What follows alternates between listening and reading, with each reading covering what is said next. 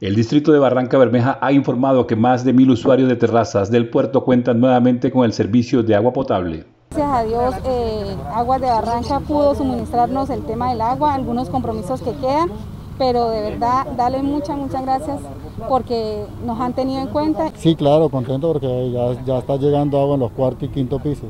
Lo primero,